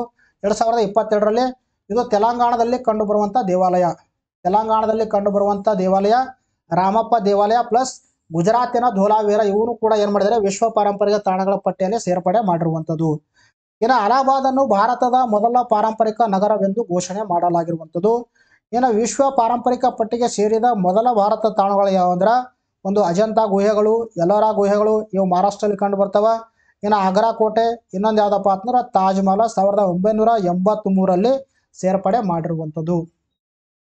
ಇನ್ನು ಭಾರತದ ಏಕೈಕ ಮಿಶ್ರ ತಾಣ ಯಾವುದಪ್ಪ ಅಂತಂದ್ರೆ, ಕಾಂಚನಜುಂಗ ರಾಷ್ಟ್ರೀಯ ಉದ್ಯಾನವನ. ವೆರಿ ಇಂಪಾರ್ಟೆಂಟ್ ಆಗುತ್ತೆ. ಭಾರತದ ಏಕೈಕ ಮಿಶ್ರ ತಾಣ ಅಂದ್ರೆ ಕಾಂಚನಜುಂಗ ರಾಷ್ಟ್ರೀಯ ಉದ್ಯಾನವನ. ಇನ್ನು ಭಾರತವು ವಿಶ್ವದಲ್ಲಿ ಆರನೇ ಅತಿ ಹೆಚ್ಚು ಪಾರಂಪರಿಕ ತಾಣಗಳನ್ನು ಒಳಗೊಂಡಿರುವಂಥದ್ದು. ಸೊ ನೋಡಿ ನೆಕ್ಸ್ಟ್ ನಾವು ಡಿಸ್ಕಷನ್ ಮಾಡ್ತೋಣ ನೆಕ್ಸ್ಟ್ ಪ್ರಶ್ನೆ ಏನು ಕೇಳಿದ್ರೆ, ಇತ್ತೀಚೆಗೆ ಯಾವ ಯಾವ ನಗರದ ಹೆಸರನ್ನು ಸಂಭಾಜಿ ನಗರವೆಂದು ಮರುನಾಮಕರಣ ಮಾಡಲಾಗಿದೆ ಅಂತ ಪ್ರಶ್ನೆ ಕೇಳಿದ್ದಾರೆ. ಇದಕ್ಕೆ ಸರಿಯಾದ ಉತ್ತರ, ಮೊದಲನೇ ಆಪ್ಷನು ಔರಂಗಾಬಾದ್. ಆದರೆ ಈ ಒಂದು ಪ್ರಶ್ನೆ ಯಾಕೆ ಕೇಳಿದ್ದಾರೆ ನಿಮ್ಮ ನ್ಯೂಸ್ ಪೇಪರ್ ಆರ್ಟಿಕಲ್ ಕಾಣಿಸಿಕೊಂಡಿದೆ ನೋಡಿ. ಎರಡು ನಗರ ಮರುನಾಮಕರಣ ಅಂದರೆ ರೀಸೆಂಟ್ ಆಗಿ ಮಹಾರಾಷ್ಟ್ರದಲ್ಲಿ ಕಂಡು ಬರುವಂತ ಎರಡು ನಗರಗಳ ಹೆಸರನ್ನು ಮಾರ್ಪಾಡು ಮಾಡಲಾಗಿರುವಂಥದ್ದು. ಎಸ್ ಇದ್ರ ಬಗ್ಗೆನೂ ಕೂಡ ನಾವು ಡಿಸ್ಕಷನ್ ಮಾಡ್ತಾ ಹೋಗೋಣ. ಮಹಾರಾಷ್ಟ್ರದ ಔರಂಗಾಬಾದ್ ಹಾಗೂ ಉಸ್ಮಾನಾಬಾದ್ ನಗರಗಳಿಗೆ ಸಂಭಾಜಿ ನಗರ ಮತ್ತು ಧಾರಾಶಿವ ನಗರ ಎಂದು ಮರುನಾಮಕರಣ ಮಾಡಲಾಗಿರುವಂಥದ್ದು. ವೆರಿ ಇಂಪಾರ್ಟೆಂಟ್ ಆಗುತ್ತೆ. ಔರಂಗಾಬಾದ್ ಡಿಸ್ಟಿಕ್ ಅನ್ನು, ಔರಂಗಾಬಾದ್ ಸಿಟಿಯನ್ನು ಸಂಭಾಜಿ ನಗರ ಅಂತ ಮರುನಾಮಕರಣ ಮಾಡಿದ್ದಾರೆ. ಇನ್ನು ಉಸ್ಮಾನಾಬಾದ್ ನಗರವನ್ನು ಧಾರಾಶಿವ ನಗರ ಅಂತ ಮರುನಾಮಕರಣ ಮಾಡಿರುವಂಥದ್ದು. ಇನ್ನು ನೆಕ್ಸ್ಟ್ ಪ್ರಶ್ನೆ ಏನು ಕೇಳಿದೆ ನೋಡ್ರಿ? ಇತ್ತೀಚೆಗೆ ಮೂರನೇ ಶ್ವಾನ ಉದ್ಯಾನವನ್ನು ಯಾವ ರಾಜ್ಯದಲ್ಲಿ ತೆರೆಯಲಾಗಿದೆ ಅಂತ ಪ್ರಶ್ನೆ ಕೇಳಿದ್ದಾರೆ. ಇದಕ್ಕೆ ಸರಿಯಾದ ಉತ್ತರ, ನಾಲ್ಕನೇ ಆಪ್ಷನು ಪಂಜಾಬ್. ಆದರೆ ಈ ಒಂದು ಪ್ರಶ್ನೆ ಯಾಕೆ ಕೇಳಲಾಗಿದೆ ಉತ್ತರ ಭಾರತದ ಮೊದಲ ಶ್ವಾನ್ ಪಾರ್ಕ್ ಅಂತ ನಾವು ಹೇಳ್ತೀವಿ. ಅಂದ್ರೆ ರೀಸೆಂಟ್ ಆಗಿ ಶ್ವಾನ್ ಪಾರ್ಕವನ್ನು ಈ ಒಂದು ಪಂಜಾಬ್ ರಾಜ್ಯದಲ್ಲಿ ಉದ್ಘಾಟನೆ ಮಾಡಲಾಗಿರುವಂಥದ್ದು, ಇದು ಉತ್ತರ ಭಾರತದಲ್ಲಿ ತೆರೆಯಲಾಗಿರುವಂತಹ ಮೊದಲ ಒಂದು ಶ್ವಾನ್ ಪಾರ್ಕವಾಗಿರುವಂಥದ್ದು. ಶ್ವಾನ್ಗಳಿಗಾಗಿ ಉತ್ತರ ಭಾರತದ ಮೊದಲ ವಿಶ್ವ ವಿಶೇಷ ಉದ್ಯಾನಾಲಯವನ್ನು ಪಂಜಾಬ್ನ ಕೈಗಾರಿಕಾ ಕೇಂದ್ರವಾದ ಲೂಧಿಯಾನದಲ್ಲಿ ತೆರೆಯಲಾಗಿರುವಂಥದ್ದು. ಅಂದರೆ ಪಂಜಾಬ್ನ, ಪಂಜಾಬ್ದಲ್ಲಿ ಸ್ಪೆಸಿಫಿಕ್ ಯಾವ ಪ್ಲೇಸ್ ಅಂದ್ರೆ ಲೂಧಿಯಾನದಲ್ಲಿ. ಇನ್ನು ಚಾನ್ ಪಾರ್ಕವನ್ನು ಲೂಧಿಯಾನ ಮುನ್ಸಿಪಲ್ ಕಾರ್ಪೊರೇಷನ್ ಸ್ಥಾಪನೆ ಮಾಡಿರುವಂಥದ್ದು. ದೇಶದಲ್ಲಿ ತೆರೆಯಲಾದ ಮೂರನೇ ಉದ್ಯಾನವನ ಇದಾಗಿರುವಂಥದ್ದು. ಟೋಟಲ್ ಭಾರತದಲ್ಲಿ ಸಾನ್ಗಳಿಗೆ ತೆರೆಯುವಂಥ ಉದ್ಯಾನದಲ್ಲಿ ಇದು ಮೂರನೇದು. ಇನ್ನು ಎರಡು ಯಾವುದಪ್ಪ ಅಂತಂದ್ರೆ ಹೈದರಾಬಾದ್ ಮತ್ತು ಮುಂಬೈ ನಗರಗಳಲ್ಲಿ ಪ್ರೀವಿಯಸ್ ಆಗಿ ಇದನ್ನು ತೆರೆಯಲಾಗಿರುವಂಥದ್ದು ಟೋಟಲ್ ಮೂರು ಭಾರತದಲ್ಲಿ ಕಂಡುಬರುವಂಥ ಒಂದು ಸಾನ್ ಉದ್ಯಾನಗಳು ಅಂತ ನಾವು ಹೇಳ್ತೀವಿ. ನೋಡಿ ನೆಕ್ಸ್ಟ್ ನೋಡ್ತಾ ಹೋಗೋಣ. ನೆಕ್ಸ್ಟ್ ಪ್ರಶ್ನೆ ಬಹಳ ಇಂಪಾರ್ಟೆಂಟ್ ಆಗುತ್ತೆ. ಏನು ಪ್ರಶ್ನೆ ಕೇಳಿದ್ರೆ ಇತ್ತೀಚೆಗೆ ನೋಬೆಲ್ ಪ್ರಶಸ್ತಿಗಳಿಗೆ ಹೆಚ್ಚಿಸಲಾದ ಮೊತ್ತ ಎಷ್ಟು ಅಂತ ಪ್ರಶ್ನೆ ಕೇಳಿದ್ದಾರೆ. ಇದಕ್ಕೆ ಸರಿಯಾದ ಉತ್ತರ ಮೊದಲನೇ ಆಪ್ಷನು ಹತ್ತು ಲಕ್ಷ ಕ್ರೋನರ್ ಅಂತ ನಾವು ಹೇಳ್ತೀವಿ. ಎಸ್ ಇದ್ರ ಬಗ್ಗೆನೂ ಕೂಡ ನಾವು ಡಿಸ್ಕಷನ್ ಮಾಡ್ತಾ ಹೋಗೋಣ. ನೊಬೆಲ್ ಪ್ರಶಸ್ತಿಗಳಲ್ಲಿ, ನೊಬೆಲ್ ಪ್ರಶಸ್ತಿಗಳ ಮೊತ್ತದಲ್ಲಿ ಈ ಬಾರಿ ಹತ್ತು ಲಕ್ಷ ಕ್ರೋನ್ಗಳಷ್ಟು ಏರಿಕೆ ಮಾಡಿರುವಂಥದ್ದು. ಈಗ ನೊಬೆಲ್ ಪ್ರಶಸ್ತಿಗಳ ಮೊತ್ತ ಎಷ್ಟು ಅಂದ್ರೆ ಒಂದು ಪಾಯಿಂಟ್ ಹತ್ತು ಕೋಟಿ ಕ್ರೋನ್ಗಳಿಗೆ ಸೇರಿರುವಂಥದ್ದು. ವೆರಿ ಇಂಪಾರ್ಟೆಂಟ್ ಆಗುತ್ತೆ. ಪ್ರಸ್ತುತವಾಗಿ ನೊಬೆಲ್ ಪ್ರಶಸ್ತಿಗಳಿಗೆ ಪ್ರದಾನ ಮಾಡುವಂಥ ಮೊತ್ತ ಎಷ್ಟಂದ್ರೆ ಒಂದು ಪಾಯಿಂಟ್ ಟೆನ್ ಕ್ರೋರ್ ಕ್ರೋನ್ಗಳಂತ ನಾವು ಹೇಳ್ತೀವಿ. ಇತ್ತೀಚೆಗೆ ಸ್ವೀಡನ್ ಕರೆನ್ಸಿ ಮೌಲ್ಯ ಕುಸಿದಿರುವ ಹಿನ್ನೆಲೆಯಲ್ಲಿ ಈ ಪ್ರಶಸ್ತಿಗಳ ಮೊತ್ತ ಏರಿಕೆ ಮಾಡಿರುವುದಾಗಿ ದಿ ನೊಬೆಲ್ ಫೌಂಡೇಶನ್ ತಿಳಿಸಿರುವಂಥದ್ದು, ಸಾವಿರದ ಒಂಬೈನೂರ ಒಂದರಲ್ಲಿ ಮೊದಲ ಬಾರಿಗೆ ನೊಬೆಲ್ ಪ್ರಶಸ್ತಿ ಪ್ರದಾನ ಮಾಡಿದಾಗ ಪ್ರತಿಯೊಂದು ಪ್ರಶಸ್ತಿಯ ಮೊತ್ತ ಎಷ್ಟಪ್ಪ ಅಂತಂದ್ರೆ ಒಂದು ಲಕ್ಷದ ಐವತ್ತು ಸಾವಿರದ ಏಳ್ನೂರ ಎಂಬತ್ತೆರಡು ಕ್ರೋನ್ಗಳಾಗಿತ್ತು. ಬಟ್ ಈಗ ಎಷ್ಟು ಇನ್ಕ್ರೀಸ್ ಮಾಡಿದರೆ ಹತ್ತು ಲಕ್ಷ ಕ್ರೋನ್ಗಳಷ್ಟು ಇನ್ಕ್ರೀಸ್ ಮಾಡುವ ಮೂಲಕ ಟೋಟಲ್ ಎಷ್ಟಂದ್ರೆ ಒಂದು ಪಾಯಿಂಟ್ ಹತ್ತು ಕೋಟಿ ಕ್ರೋನ್ಗಳಷ್ಟು ಈ ಒಂದು ಅಮೌಂಟನ್ನು ಕೊಡಲಾಗುತ್ತೆ. ಇನ್ನು ನೊಬೆಲ್ ಪ್ರಶಸ್ತಿ ಬಗ್ಗೆ ನಾವು ಮಾತಾಡ್ತಾ ಬಂದ ನೋಡ್ರಿ, ಇದನ್ನು ಕೂಡ ನಮ್ಮ ಒಂದು ನ್ಯೂಸ್ ಮ್ಯಾಗಝಿನಿಂದ ನಾನು ತೆಗೆದುಕೊಂಡಿದ್ದೇನೆ. ಮೊದಲೇ ನೋಡ್ರಿ, ಈ ಒಂದು ನೊಬೆಲ್ ಪ್ರಶಸ್ತಿಯನ್ನು ಪ್ರದಾನ ಮಾಡಿದ ಮೊಟ್ಟ ಮೊದಲ ಬಾರಿ ಯಾವಂದ್ರ ಸಾವಿರದ ಒಂಬೈನೂರ ಒಂದರಲ್ಲಿ ಪ್ರದಾನ ಮಾಡಲಾಗಿರುವಂಥದ್ದು. ಇನಿಷಿಯಲಿ ಈ ಒಂದು ನೊಬೆಲ್ ಪ್ರಶಸ್ತಿಗಳು ಕೇವಲ ಫೈವ್ ಫೀಲ್ಡ್ಗಳಿಗೆ ಅಂದರೆ ಫೈವ್ ಕ್ಷೇತ್ರಗಳಿಗೆ ಮಾತ್ರ ನೀಡಲಾಗ್ತಿರುವಂಥದ್ದು.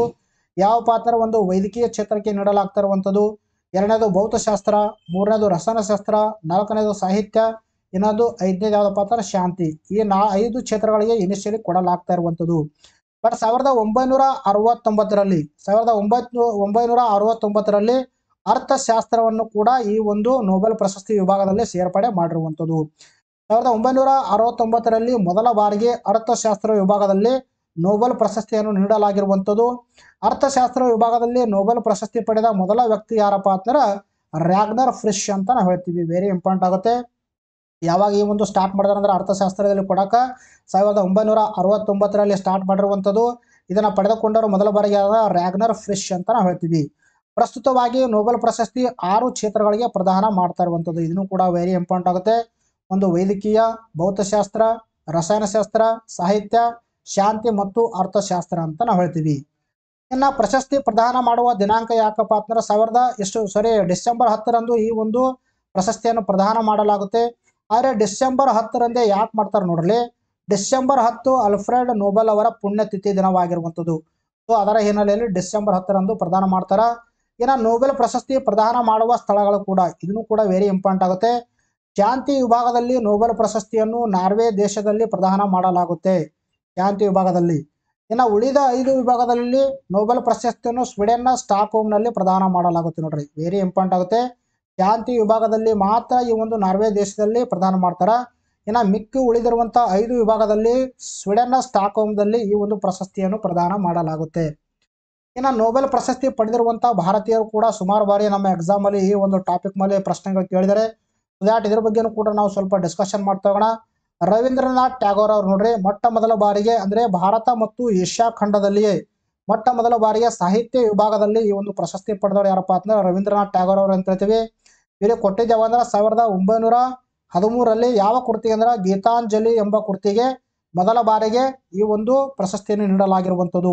ಅಂದರೆ ಭಾರತ ಮತ್ತು ಏಷ್ಯಾ ಖಂಡದಲ್ಲೇ ಮೊದಲ ಸಾಹಿತ್ಯ ವಿಭಾಗದ ಪ್ರಶಸ್ತಿ ರೋಬರ್ ಪ್ರಶಸ್ತಿ ಪಡೆದವರು ಯಾರಂದ್ರೆ ರವೀಂದ್ರನಾಥ್ ಟ್ಯಾಗೋರ್ ಅವರು ಅಂತ ಹೇಳ್ತೀವಿ. ಇನ್ನು ಸರ್ ಸಿ ವಿ ರಾಮನ್ ಅವರಿಗೆ ಭೌತಶಾಸ್ತ್ರ ಕ್ಷೇತ್ರದಲ್ಲಿ ನೀಡಲಾಗಿರುವಂಥದ್ದು ಅದು ಸಾವಿರದ ಒಂಬೈನೂರ ಮೂವತ್ತರಲ್ಲಿ ಯಾವ ಒಂದು ಕಾರಣಕ್ಕೆ ನೀಡಲಾಗಿತ್ತು ಅಂದ್ರೆ ಬೆಳಕಿನ ಚದುರುವಿಕೆ ಅನ್ನೋ ಉದ್ಯಮಾನವನ್ನು ಇವರು ಕಂಡುಹಿಡಿದಿರ್ತಾರೆ. ಸೊ ಅದರ ಹಿನ್ನೆಲೆಯಲ್ಲಿ ಇವರಿಗೆ ಭೌತಶಾಸ್ತ್ರದಲ್ಲಿ ಸಾವಿರದ ಒಂಬೈನೂರ ಮೂವತ್ತರಲ್ಲಿ ಪ್ರಶಸ್ತಿಯನ್ನು ನೀಡಲಾಗಿರುವಂಥದ್ದು. ಇನ್ನು ಮದರ್ ತೆರೇಸಾ ಅವರಿಗೆ ನೀಡಿದ್ದು ಯಾವ ಕ್ಷೇತ್ರದಲ್ಲಿ ಅಂದ್ರೆ ಶಾಂತಿ ಕ್ಷೇತ್ರದಲ್ಲಿ ನೀಡಿರುವಂಥದ್ದು. ಯಾವಾಗಂದ್ರೆ ಸಾವಿರದ ಒಂಬೈನೂರ ಎಪ್ಪತ್ತೊಂಬತ್ತರಲ್ಲಿ. ಇನ್ನು ಯಾವ ಒಂದು ಕೆಲಸಕ್ಕೆ ಅಂದ್ರೆ ಮಿಷನರಿ ಆಫ್ ಚಾರಿಟಿ ಎಂಬ ಒಂದು ಸೇವಾ ಸಂಸ್ಥೆಯನ್ನು ಕಲ್ಕತ್ತಾದಲ್ಲಿ ಇವರು ಸ್ಥಾಪನೆ ಮಾಡಿರ್ತಾರೆ. ಸಮಾಜ ಸೇವಕ್ಕೆ ಒಂದು ಉತ್ತಮ ಕೊಡುಗೆಯನ್ನು ನೀಡಿರುವುದಾಗಿ ಇವರಿಗೆ ಈ ಒಂದು ಪ್ರಶಸ್ತಿಯನ್ನು ನೀಡಿರುವಂಥದ್ದು. ಇನ್ನು ಡಾಕ್ಟರ್ ಅಮೃತ ಸೇನ್ ಅವರಿಗೆ ನೋಡ್ರಿ, ಚ, ಯಾವ ಕ್ಷೇತ್ರದ ಅರ್ಥಶಾಸ್ತ್ರದಲ್ಲಿ ಇವರಿಗೆ ನೀಡಿರುವಂಥದ್ದು ಸಾವಿರದ ಒಂಬೈನೂರ ತೊಂಬತ್ತೆಂಟರಲ್ಲಿ ನೀಡಿರುವಂಥದ್ದು ಕಲ್ಯಾಣ ಅರ್ಥಶಾಸ್ತ್ರ ಮತ್ತು ಸಾಮಾಜಿಕ ಆಯ್ಕೆ ಸಿದ್ಧಾಂತ. ಅರ್ಥಶಾಸ್ತ್ರದಲ್ಲಿ ಈ ಒಂದು ಪ್ರಶಸ್ತಿ ಪಡೆದ ಮೊದಲ ಭಾರತೀಯ ಎಂಬ ವ್ಯಕ್ತಿ ಯಾರಪ್ಪ ಅಂತಂದ್ರೆ ಡಾಕ್ಟರ್ ಅಮೃತ ಸೇನ ಅಂತ ನಾವು ಹೇಳ್ತೀವಿ. ಇನ್ನು ಐದನೇದವರು ಏನಂದ್ರೆ ಕೈಲಾಶ್ ಸತ್ಯಾರ್ಥಿ ಅವರಿಗೆ ಯಾವ ಕ್ಷೇತ್ರದಲ್ಲಿ ನೀಡಲಾಗಿತ್ತು ಅಂದ್ರೆ ಶಾಂತಿ ಕ್ಷೇತ್ರದಲ್ಲಿ ಎರಡು ಸಾವಿರದ ಹದಿನಾಲ್ಕರಲ್ಲಿ ನೀಡಿರುವಂಥದ್ದು ಬಚ್ಪನ್ ಬಚಾವೋ ಆಂದೋಲನ ಮತ್ತು ಗ ಬಾಲ ಮಿತ್ರ ಗ್ರಾಮ. ಈ ಎರಡು ಒಂದು ಕಾರ್ಯಕ್ರಮಗಳಿಗಾಗಿ ಸತ್ಯ ಕೈಲಾಸ್ ಸತ್ಯಾರ್ಥಿ ಅವರಿಗೆ ಎರಡು ಸಾವಿರದ ಹದಿನಾಲ್ಕರಲ್ಲಿ ನೋಬೆಲ್ ಪ್ರಶಸ್ತಿಯನ್ನು ನೀಡಿರುವಂಥದ್ದು. ಏನ ನೋಬೆಲ್ ಪ್ರಶಸ್ತಿ ಪಡೆದ ಭಾರತೀಯ ಮೂಲದವರು. ಈವರೆಗೆ ನಾವು ಏನು ಡಿಸ್ಕಷನ್ ಮಾಡಿದೀವಿ? ನೋಬೆಲ್ ಪ್ರಶಸ್ತಿ ಪಡೆದ ಭಾರತೀಯರು ತಿಳ್ಕೊಂಡಿವಿ. ಏನಾದ್ರು ನೋಬೆಲ್ ಪ್ರಶಸ್ತಿ ಪಡೆದ ಭಾರತೀಯ ಮೂಲದವರು ಸ್ವಲ್ಪ ನಾವು ಡಿಸ್ಕಷನ್ ಮಾಡ್ತೋಣ ಮೊದಲನೇ ಯಾರು ನೋಡ್ರಿ? ಅಭಿಜಿತ್ ಬ್ಯಾನರ್ಜಿ ಅವರಿಗೆ. ಇವರಿಗೆ ರೀಸೆಂಟ್ ಆಗಿ ಅಂದ್ರೆ ಎರಡು ಸಾವಿರದ ಹತ್ತೊಂಬತ್ತರಲ್ಲಿ ನೀಡಲಾಗಿರುವಂಥದ್ದು. ಅದು ಅರ್ಥಶಾಸ್ತ್ರ ಕ್ಷೇತ್ರದಲ್ಲಿ ಜಾಗತಿಕ ಬಡತನ ನಿರ್ವಹಣೆಗೆ ಪ್ರಾಯೋಗಿಕ ಒಂದು ವಿಧಾನವನ್ನು ಇವರು ಕಂಡುಹಿಡಿದರು. ಸೊ ಅದರ ಹಿನ್ನೆಲೆಯಲ್ಲಿ ಇವರಿಗೆ ಅರ್ಥಶಾಸ್ತ್ರದಲ್ಲಿ ಈ ಒಂದು ಪ್ರಶಸ್ತಿಯನ್ನು ನೀಡಿರುವಂಥದ್ದು. ಇನ್ನು ಡಾಕ್ಟರ್ ಹರಗೋವಿಂದ ಖುರಾನ್ ಅವರಿಗೆ ವೈದ್ಯಕೀಯ ಕ್ಷೇತ್ರದಲ್ಲಿ ಸಾವಿರದ ಒಂಬೈನೂರ ಅರವತ್ತೆಂಟು ನ್ಯೂಕ್ಲಿಕ್ ಆಮ್ಲಗಳಿರುವ ನ್ಯೂಕ್ಲಿಯೋಟೈಡ್ಗಳ ಸಂಶೋಧನೆಗಾಗಿ ನೀಡಿರುವಂಥದ್ದು. ನಂತರದಲ್ಲಿ ಡಾಕ್ಟರ್ ಸುಬ್ರಹ್ಮಣ್ಯ ಚಂದ್ರಶೇಖರ್ ಅವರಿಗೆ ನೋಡ್ರಿ, ಭೌತಶಾಸ್ತ್ರ ಕ್ಷೇತ್ರದಲ್ಲಿ ಸಾವಿರದ ಒಂಬೈನೂರ ಎಂಬತ್ಮೂರರಲ್ಲಿ ನೀಡಿರುವಂಥದ್ದು ಅದು ನಕ್ಷತ್ರಗಳ ರಚನೆ ಮತ್ತು ವಿಕಾಸದ ಸಿದ್ಧಾಂತ ಬಗ್ಗೆ ಕುರಿತು ಅಧ್ಯಯನ ಮಾಡೋದಕ್ಕೆ ಇವರಿಗೆ ಭೌತಶಾಸ್ತ್ರದಲ್ಲಿ ನೀಡಿರುವಂಥದ್ದು ಇನ್ನು ಸರ್ ರೊನಾಲ್ಡ್ ರೋಸ್ ಅವರಿಗೆ ವೈದ್ಯಕೀಯ ಕ್ಷೇತ್ರದಲ್ಲಿ ಸಾವಿರದ ಒಂಬೈನೂರ ಎರಡರಲ್ಲಿ ಅದು ಯಾಕಂದ್ರೆ ಮಲೇರಿಯಾ ರೋಗ ಹರಡಲು ಎನಾಫಿಲಸ್ ಎಂಬ ಸಣ್ಣ ಸೊಳ್ಳೆ ಕಾರಣ ಅಂತ ಇವರು ಸಂಶೋಧನೆ ಮೂಲಕ ತೋರಿಸಿಕೊಟ್ಟಿರುವಂಥದ್ದು. ಅದರ ಹಿನ್ನೆಲೆಯಲ್ಲಿ ಇವರಿಗೆ ಸಾವಿರದ ಒಂಬೈನೂರ ಎರಡು ವೈದ್ಯಕೀಯ ಕ್ಷೇತ್ರದಲ್ಲಿ ಈ ಒಂದು ನೋಬೆಲ್ ಪ್ರಶಸ್ತಿಯನ್ನು ನೀಡಲಾಗಿರುವಂಥದ್ದು. ಇನ್ನು ರುಡಾರ್ಡ್ ಕ್ಲಿಪ್ ಕಿಪ್ಲಿಂಗ್ ಅವರಿಗೆ ನೋಡ್ರಿ. ಕ್ಷೇತ್ರ ಸಾಹಿತ್ಯ ಕ್ಷೇತ್ರದಲ್ಲಿ ನೀಡಿರುವಂಥದ್ದು ಸಾವಿರದ ಒಂಬೈನೂರ ಏಳರಲ್ಲಿ ಭಾರತೀಯ ಮೂಲದ ಬ್ರಿಟನ್ ಆಟಗ ಬ್ರಿಟನ್ ಬರಹಗಾರರಾಗಿರುವಂಥದ್ದು ಇವರು.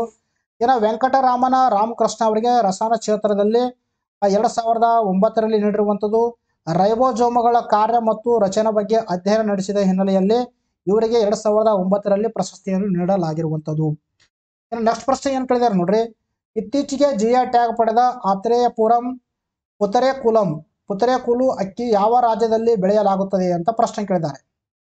ಇದಕ್ಕೆ ಸರಿಯಾದ ಉತ್ತರ ಮೊದಲನೇ option Andhra Pradesh is the right answer ಇದರ ಬಗ್ಗೆನೂ ಕೂಡ ನಾವು ಡಿಸ್ಕಷನ್ ಮಾಡ್ತಾ ಹೋಗೋಣ. ಆಂಧ್ರ ಪ್ರದೇಶದ ಆತ್ರೇಯಪುರಂ ಪುತರೇಕೋಲು ಅಕ್ಕಿ ಮತ್ತು ಬೆಲ್ಲದಿಂದ ಮಾಡಿದ ಸಿಹಿ ತಿಂಡಿಗೆ ರೀಸೆಂಟ್ ಆಗಿ ಜಿ ಐ ಟ್ಯಾಗ್ ಅನ್ನು ನೀಡಲಾಗಿರುವಂಥದ್ದು ವೆರಿ ಇಂಪಾರ್ಟೆಂಟ್ ಆಗುತ್ತೆ. ಅತ್ರೇಪುರಂ ಅನ್ನೋದು ಒಂದು ಆಂಧ್ರ ಪ್ರದೇಶದಲ್ಲಿ ಬರುವಂತ ಹಳ್ಳಿ. ಈ ಒಂದು ಹಳ್ಳಿಯಲ್ಲಿ ಬರುವಂತ ಪುತರೆಕೋಲು ಅಕ್ಕಿಗೆ ರೀಸೆಂಟ್ ಆಗಿ ಏನಪ್ಪಾ ಅಂತಂದ್ರೆ ಈ ಒಂದು ಜಿಐ ಟ್ಯಾಗ್ ನೀಡಲಾಗಿರುವಂಥದ್ದು ಜಿಐ ಪ್ರಮಾಣ ಪತ್ರ ಹಸ್ತಾಂತರ ಸಮಾರಂಭವು ವಿಶಾಖಪಟ್ಟಣದ ದಾಮೋದರಂ ಸಿಹಿ ತಿಂಡಿ ನೋಡ್ರಿ, ಸಿಹಿ ತಿಂಡಿಗೆ ನೀಡಿರುವಂಥದ್ದು ಇನ್ನು ದಾಮೋದರಂ ಸಂಜೆಯ ರಾಷ್ಟ್ರೀಯ ಕಾನೂನು ವಿಶ್ವವಿದ್ಯಾಲಯ ನಡೆಸಲಾಗಿರುವಂಥದ್ದು ತದನಂತರದಲ್ಲಿ center for intellectual property rights and technology ಗ್ರೂಪ್ನ ಈ ಕಾರ್ಯಕ್ರಮ, ಈ ಒಂದು ಕಾರ್ಯಕ್ರಮ ಆಯೋಜನೆ ಮಾಡಿರುವಂಥದ್ದು ಕುಲ ಎಂಬ, ಎಂಬುದು ಸಕ್ಕರೆ, ಒಣ ಹಣ್ಣುಗಳು ಮತ್ತು ಬೀಜಗಳಿಂದ ತುಂಬಿದ ಕಾಗದವನ್ನು ಹೋಲುವ ವೇಫರ್ ತೆಳುವಾದ ಅಕ್ಕಿ ಪಿಷ್ಟದ ಪದರದಿಂದ ಮಾಡಿದ ಸಿಹಿ ಆಗಿರುವಂಥದ್ದು ಅಂದರೆ ಕುಲ ಅನ್ನೋದು ಒಂದು, ಇದೇನಪ್ಪ ಅಂತಂದ್ರೆ ಒಂದು ಸಿಹಿ ತಿಂಡಿ ಆಗಿರುವಂಥದ್ದು ಉತ್ತರೇಕುಲ ಎಂದರೆ ತೆಲುಗುವಿನಲ್ಲಿ ಲೇಪಿತ ಹಾಳೆ ಎಂದರ್ಥ. ಉತ ಎಂದರೆ ಲೇಪನ ಮತ್ತು ರೆಕುಲ ಎಂದರೆ ಹಾಳೆ ಎಂದರ್ಥ. ಇಲ್ಲಿ ನೋಡ್ರಿ ಕ್ವಶನ್ ರಾಂಗ್ ಆಗಿರುವಂಥದ್ದು. ನಾನು ಇದರ ಮೇಲೆ ಟಾಪಿಕ್ ಈ ಒಂದು ಟಾಪಿಕ್ ಮೇಲೆ ಕ್ವಶನ್ ರಾಂಗ್ ಆಗಿ ಕೇಳಿದ್ದೇನೆ. ಬಟ್ ಇಲ್ಲಿ ಪುತ್ತರೇಕುಲ ಅನ್ನೋದು ಒಂದು, ಏನಪ್ಪ ಅಂತಂದ್ರೆ ಒಂದು ಸಿಹಿ ತಿಂಡಿ ಅಂತ ಅಷ್ಟು ಫ್ಯಾಕ್ಟ್ ನಿಮಗೆ ಗೊತ್ತಿರಬೇಕು. ಇನ್ನು ನೆಕ್ಸ್ಟ್ ನೋಡ್ರಿ, ಇನ್ನೊಂದು ಯಾವ್ದಪ್ಪ ಅಂತಂದ್ರೆ ಬೋಂಡಾಲು ಎಂದು ಕರೆಯಲ್ಪಡುವ m t u three three thirty six twenty six ಭತ್ತದ ತಳಿಯನ್ನು ಸಿಹಿ ಮಾಡಲು ಯಾವ್ದಪ್ಪ ಅಂತಂದ್ರೆ ಈ ಒಂದು ಪ್ರದೇಶದಲ್ಲಿ ವ್ಯಾಪಕವಾಗಿ ಬೆಳೀತಾ ಬೆಳೆಯಲಾಗ್ತಾ ಇರುವಂಥದ್ದು ಇನ್ನು ಜಿ ಎ ಟ್ಯಾಗ್ ಬಗ್ಗೆ ಸುಮಾರು ಬಾರಿ ನಾನು ಡಿಸ್ಕಷನ್ ಮಾಡಿದೆ. ಸೊ ಲೈಟಾಗಿ ಒಂದು ಬಾರಿ ಬಗ್ಗೆ ಡಿಸ್ಕಷನ್ ಮಾಡ್ತಾವೆ ನೋಡ್ರಿ. ಜಿ ಎ ಟ್ಯಾಗ್ ಎನ್ನುವುದು ನಿರ್ದಿಷ್ಟ ಭೌಗೋಳಿಕ ಸ್ಥಳದಿಂದ ಅವುಗಳ ಮೂಲವನ್ನು ಪತ್ತೆ ಹಚ್ಚುವ ಉತ್ಪನ್ನಗಳಿಗೆ ಮೇಲೆ ಬಳಸಲಾಗುವಂಥ ಒಂದು ಚಿಹ್ನೆ ಅಂತ ನಾವು ಹೇಳ್ತೀವಿ. ಜಿ ಎ ಟ್ಯಾಗ್ ಅನ್ನು ಭಾರತದಲ್ಲಿ ಸೆಪ್ಟೆಂಬರ್ ಹದಿನೈದು, ಎರಡು ಸಾವಿರದ ಮೂರರಿಂದ ಅಳವಡಿಸಲಾಗಿರುವಂಥದ್ದು. ಏನೋ ಭಾರತದಲ್ಲಿ ಮೊದಲ ಬಾರಿಗೆ ಜಿ ಐ ಟ್ಯಾಗ್ ಪಡೆದಿರುವಂಥ ಒಂದು ಯಾವ ಉತ್ಪನ್ನಪ್ಪ ಅಂದ್ರೆ ಪಶ್ಚಿಮ ಬಂಗಾಳದ ಡಾರ್ಜಿಲಿಂಗ್ ಟೀಗೆ ನೀಡಲಾಗಿರುವಂಥದ್ದು. ಇದನ್ನು ಕೂಡ ವೆರಿ ಇಂಪಾರ್ಟೆಂಟ್ ಆಗುತ್ತೆ. ನೆಕ್ಸ್ಟ್ ನೋಡಿ ನೆಕ್ಸ್ಟ್ ನೋಡ್ತಾಗೋಣ ನೆಕ್ಸ್ಟ್ ಪ್ರಶ್ನೆ ಏನೈತೆ ಅಂದ್ರೆ, ಇತ್ತೀಚೆಗೆ ಅತ್ಯಂತ ಜನಪ್ರಿಯ ಜಾಗತಿಕ ನಾಯಕ ಪ್ರಶಸ್ತಿಯನ್ನು ಪಡೆದವರು ಯಾರು ಅಂತ ಪ್ರಶ್ನೆ ಕೇಳಿದ್ದಾರೆ. ಇದಕ್ಕೆ ಸರಿಯಾದ ಉತ್ತರ, ಮೊದಲನೇ ಆಪ್ಷನ್ ಭಾರತ ಪ್ರಧಾನಮಂತ್ರಿ ನರೇಂದ್ರ ಮೋದಿ ಅವರು.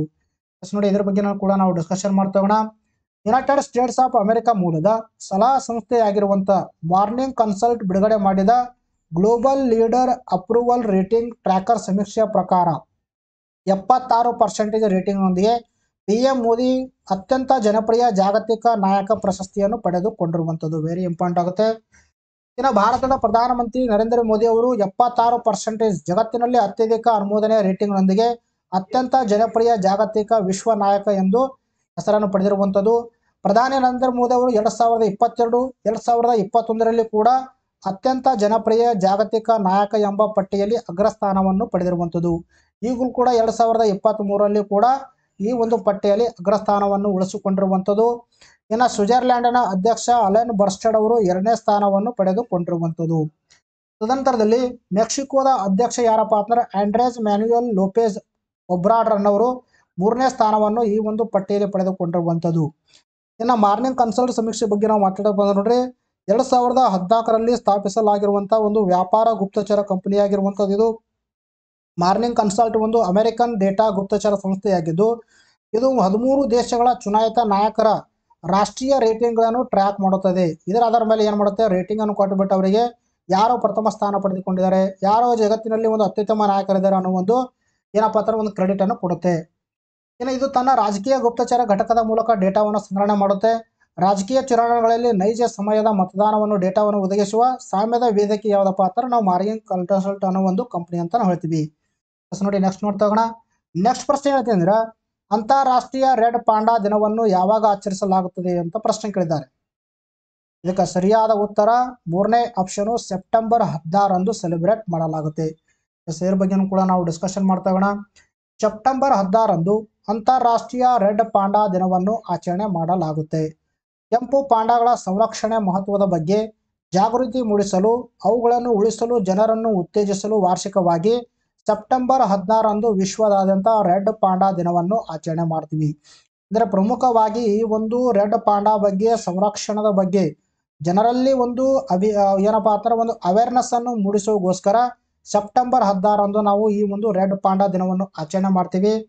ಇನ್ನು ಕೆಂಪು ಪಾಂಡಾಗಳು ಎಲ್ಲೆಲ್ಲಿ ಕಂಡು ಬರ್ತಾವಂದ್ರೆ ನೇಪಾಳ ರಾಷ್ಟ್ರದಲ್ಲಿ, ಭಾರತ, ಭೂತಾನ್, ಚೀನಾ ಮತ್ತು ಮ್ಯಾನ್ಮಾರ್ ಅರಣ್ಯ ಪರ್ವತಗಳಲ್ಲಿ ವ್ಯಾಪಕವಾಗಿ ಕಂಡುಬರುತ್ತೆ ಇನ್ನು ರೆಡ್ ಪಾಂಡಾ ನೆಟ್ವರ್ಕ್ ಬಗ್ಗೆ ನಾವು ಮಾತಾಡ್ತಾ ಬಂದ ನೋಡ್ರಿ ಇದು ಸ್ಥಾಪನೆ ಮಾಡಿದ ಯಾವಂದ್ರೆ ಎರಡು ಸಾವಿರದ ಏಳರಲ್ಲಿ ಸ್ಥಾಪನೆ ಮಾಡಿರುವಂಥದ್ದು. ಪ್ರಧಾನ ಕಚೇರಿಯಲ್ಲಿ ಕಂಡು ಬರುತ್ತಂದ್ರೆ ಒರೆಗಾನ್ ಅನ್ನೋದೊಂದು. ಅಂದರೆ ಇದು ಎಲ್ಲಿ ಕಂಡು ಬರುತ್ತೆ? ಯುನೈಟೆಡ್ ಸ್ಟೇಟ್ ಆಫ್ ಅಮೆರಿಕದಲ್ಲಿ ಕಂಡು ಬರುವಂಥ ಒಂದು ಪ್ಲೇಸು. ಅದರಲ್ಲಿ ಇದರ ಒಂದು ಹೆಡ್ ಕ್ವಾರ್ಟರ್ ಕಂಡು ಬರ್ತಾ ಇರುವಂಥದ್ದು. ಇದರ ಸಂಸ್ಥಾಪಕ ಯಾರಪ್ಪ ಅಂತಂದ್ರೆ ಬ್ರಿಯಾನ್ ವಿಲಿಯಮ್ಸ್ ಅಂತ ನಾವು ಹೇಳ್ತೀವಿ. ಇನ್ನು ನೆಕ್ಸ್ಟ್ ನೋಡ್ರಿ, ಒಣಾನ್ಸ್ ಕೊಟ್ಟಿದ್ದಾರೆ. ಮೊದಲನೇ ಪ್ರಶ್ನೆಗೆ ಏನು ಕೇಳಿದೆ ನೋಡ್ರಿ? ಯಾವ ಉತ್ತರ ಭಾರತದ ರಾಜ್ಯವು ತನ್ನ ಹೊಸ ರಾಜ್ಯ ಶಿಕ್ಷಣ ನೀತಿಯನ್ನು ಅನಾವರಣಗೊಳಿಸಿದೆ ಅಂತ ಪ್ರಶ್ನೆ ಕೇಳಿದರೆ ಇದಕ್ಕೆ ಸರಿಯಾದ ಉತ್ತರ ಪಶ್ಚಿಮ ಬಂಗಾಳ. ಭಾರತವು ಇತ್ತೀಚೆಗೆ ತನ್ನ ಮೊದಲ ಹೂಡಿಕೆ ವೇದಿಕೆ ಎರಡ್ ಸಾವಿರದ ಇಪ್ಪತ್ತ್ಮೂರನ್ನು ಯಾವ ದೇಶದೊಂದಿಗೆ ಆಯೋಜಿಸಿದೆ ಅಂತ ಪ್ರಶ್ನೆ ಕೇಳಿದರೆ ಇದಕ್ಕೆ ಸರಿಯಾದ ಉತ್ತರ ಸೌದಿ ಅರೇಬಿಯಾ. ಯಾವ ನಗರವು ವ್ಯಾಪಾರ ಜವಾಬ್ದಾರಿ ಮತ್ತು ಸುಸ್ಥಿರತೆ ವರದಿ ಕುರಿತು ಕಾರ್ಯಾಗಾರವನ್ನು ಆಯೋಜಿಸಿದಂತ ಪ್ರಶ್ನೆ ಕೇಳಿದರೆ ಇದಕ್ಕೆ ಸರಿಯಾದ ಉತ್ತರ ಮುಂಬೈ. ಇನ್ನು ಯಾವ ಕೇಂದ್ರ ಸಚಿವಾಲಯವು ಅಣೆಕಟ್ಟು ಸುರಕ್ಷತೆಯ ಕುರಿತು ಅಂತಾರಾಷ್ಟ್ರೀಯ ಸಮ್ಮೇಳನವನ್ನು ಆಯೋಜಿಸಿದಂತ ಪ್ರಶ್ನೆ ಕೇಳಿದರೆ ಇದಕ್ಕೆ ಸರಿಯಾದ ಉತ್ತರ ಜಲಶಕ್ತಿ ಸಚಿವಾಲಯ. ಜಿ ಟ್ವೆಂಟಿ ಶೃಂಗಸಭೆಯಲ್ಲಿ ನಾಯಕರಿಗೆ ನೀಡಿದ ಉಡುಗೊರೆಗಳಲ್ಲಿ ಒಂದಾದ ಅರಕು ಕಾಫಿ ಯಾವ ರಾಜ್ಯದಿಂದ ಬಂದಿದೆ ಅಂತ ಪ್ರಶ್ನೆ ಕೇಳಿದರೆ ಇದಕ್ಕೆ ಸರಿಯಾದ ಉತ್ತರ ಆಂಧ್ರ ಪ್ರದೇಶ್.